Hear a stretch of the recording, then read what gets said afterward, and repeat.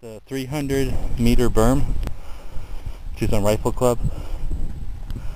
We just set up these pigs. Now that pig is permanent, big thick one. But these are meant to fall over. They're not attached.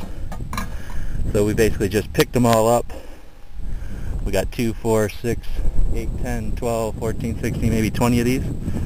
We picked them all up and put them on these po posts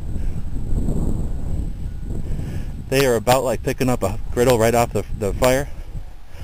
So we use gloves for sure. Anybody who comes out to the range definitely bring some gloves for that. Now you can't shoot these with 223 because that would damage the steel, but we can shoot them with the AK, and we're thinking that'll be pretty fun.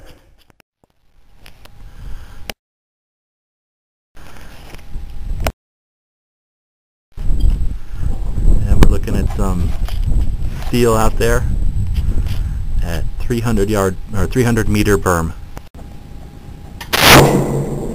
Oh, dude, how did I not hit that? Right between them. Right between the two. This is 300 meters with an AK-47, a Romanian with some German furniture, open iron sights. Nice.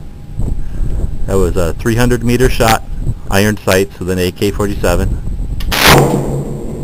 Second shot with the uh, AK, 7.62 by 39.